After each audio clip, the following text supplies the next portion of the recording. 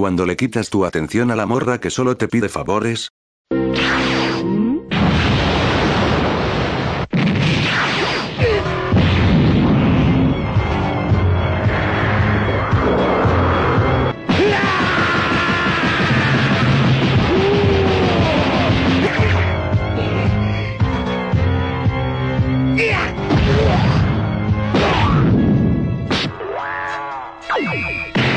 No llores.